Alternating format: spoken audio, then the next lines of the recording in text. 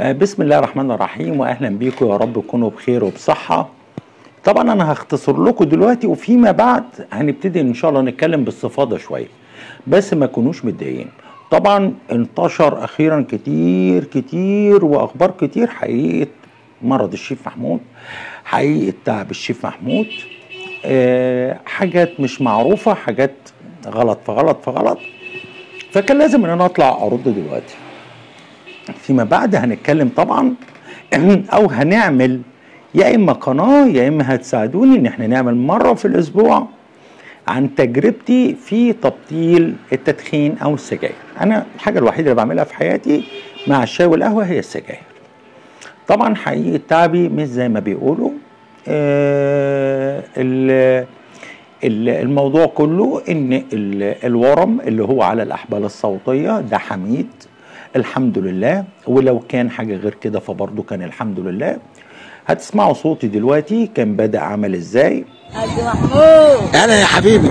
خد حلاوة للولاد مش عايزين يا حبيبي مش عايزين حلاوة ولا غزل البنات هتاخد حلاوة غزل البنات بس بالعافية. بالحب تاخد حلاوة بالبنات ناخد يا حنان حلاوة. حد عايز حلاوة؟ اسمك إيه؟ أحمد. عرفت اسمي منين يا أحمد؟ فيها والله. طب انت بتتكلم كده؟ انت منين يا أحمد؟ إيه من صحاب. أجدع ناس صعايدة. هات الحاجة اللي معاك دي كلها يا أحمد. ماشي. أنا شو اتصورت معاك يا أحمد. آه. ساعة ما أجرت لي العدة ديت. ما أنا اشتريت يا أحمد. لا ما اشتريتش. هو ده الصوت بتاعي طبعا اللي هو كان بدأ في مرسى مطروح. فده طبعا كان ال ال الصوت بتاعي أنا اعتقدت إن هو دور برد. أو إن هو آه نتيجة لشرب الميه الساقعة أو كده. آه لأني كنت بسجل حلقتين في اليوم بمعدل ثلاث ساعات تقريبا في في مدينة الإنتاج الإعلامي.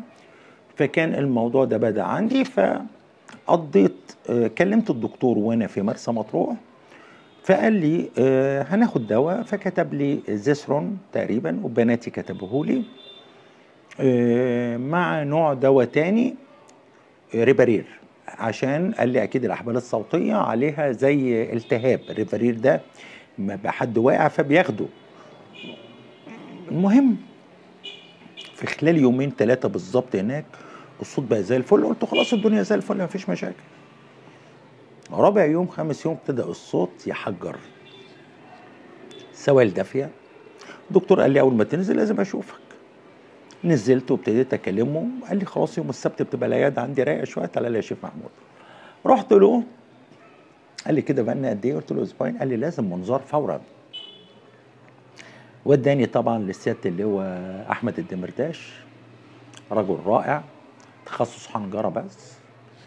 عايز أقول لكم ألم.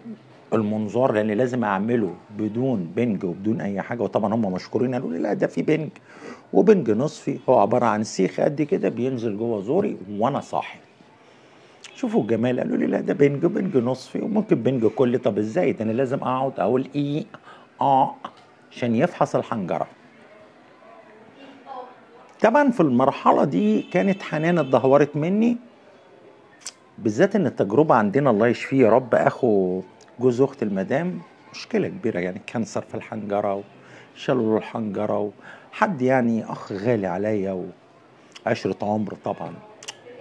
المهم فابتدى يقول لي المدام عندي هو بيشرب سجاير؟ قالت له آه بيشرب سجاير. بيشرب سجاير قد إيه؟ قالت له علبتين. قلت له لا ثلاث علب. ما أنا دايما أقول لمراتي علبتين. ف هو يدور ويبص طبعا قصادنا ال- الشاشة.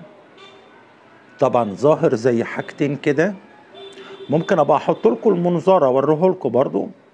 حاجتين كده ورمين هو بيشرب سجاير أكيد. لو ده راجل لواء تخصص حنجرة. بيروحوا له المغنيين والمطربين والحاجات دي. قول إيه؟ قول آه. ويحط ال ال ال السيخ ده كله. والشاشه ده خلاص. قال لي بص الدنيا حلوة. بس في حتة كده مغيمة عايز أشوفها. مغيمة. أنا أنا أنا يعني عايز أقول لكم إيه أنا كشيف محمود ما بخافش على نفسي. يعني مش اللي هو بقى اترعب ولا ودور بردك. زاهد الدنيا زي ما قلت لكم قبل كده. بس هو قال لي كلمة. قال لي مش بناتك اطباء قلت له آه يا سيادة اللواء. قال لي هيقعدوا جنبك وما يعرفوش يعملوا لك حاجة من كتر الألم ويتفرجوا عليك. إيه ده؟ يعني أنا هدمر ولادي؟ هدمر ابني الصغير محمد اللي هو نور عيني؟ ابتدى يحط تاني لما اوصل يقول لي يقول أم أم طبعا السيخ هنا.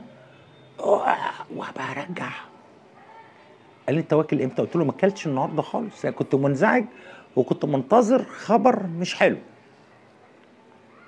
أنا راجل مدخن وعارف وعارف صوتي مغلق ليه يعني.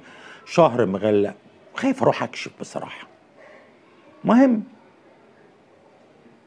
آه وصلنا للغيامة دي. قال لي في ورمين بس حميد. المحلات اللي بتبيع سجاير مش هتعدي مين جنبيها. وهتجيلي بعد شهر نكرر تاني. لو لقينا الورمين لازم يتشالوا. عشان ما يقلبش بورمين مش خبث. القصة بالظبط عشان الكلام اللي هو بيتقال أنا بحبش أطلع أهلل. يعني في قصة عندي برضه ابقى احكي لكم. واحد طلع على حسي بينصب على الناس. بس يعني في حاجات شخصية. بس يعني بحس إن أنا لو قلت على حاجة إن أنا هستدر بيها بقى العطف بقى. وأنا مش بتاع الكلام الفاضي ده. عايز تقعد في قناة تقعد عايز تستفيد منها استفيد. عايز تخرج اخرج. عايز أصعب عليك أصعب عليك. عايز. يعني أنا بطبيعتي كده مع الناس سلس. وما بحبش الشغل ده يعني. الشغل الكهن ده اللي بيقولوا عليه. الم... ما بيهمنيش على رأي أبويا يعني كان يقول لي الله يرحمه هو أنا عندي كذا يا ابني ولا يهمك. المهم مشكلتي أول يوم إزاي أنا؟ طبعا أنا خرجت ركبت العربية مع حنان وانت ماسك علبة السجاير. بص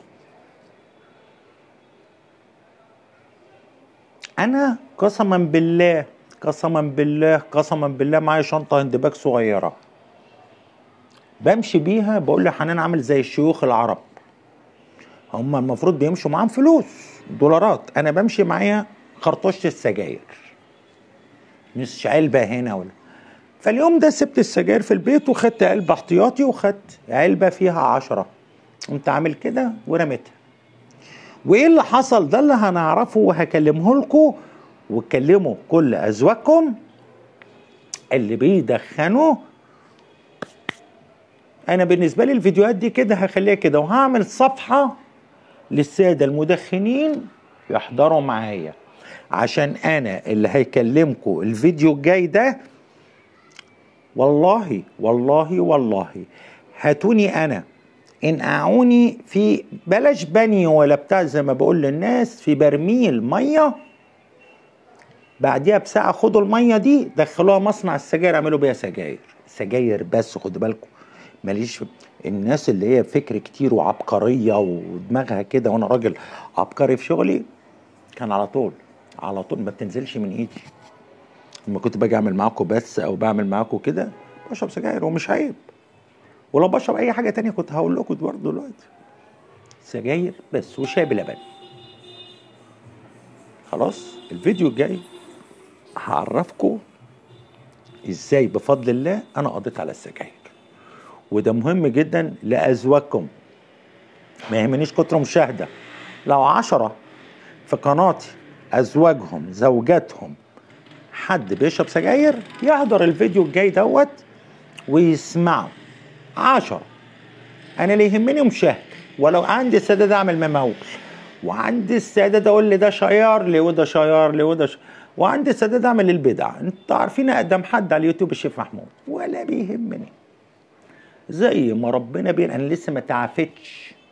بس أنا عرفتكم حقيقة التعب اللي عندي إيه؟ وهو ما يسمى تكلس على ال ال اسمها إيه؟ ال الأحبال الصوتية. الأحبال الصوتية أنا كنت فاكر ان بسأل بنتي بحسبها زي صوابع كده. ده هو أدي الحنجرة الزور هصورها لكم واوريها لكم. الحتة دي والحتة دي من الأحبال الصوتية اللي بين ال حتة لحم كده وحتة لحم كده هي دي الاحبال الصوتية. فاحكي لكم وأكلمكم بقى إيه بالظبط على موضوع التدخين. خلاص شكرا ليكم. سلام عليكم دي حقيقة تعبي. هنشوف بعد كده الدنيا فيها إيه تاني.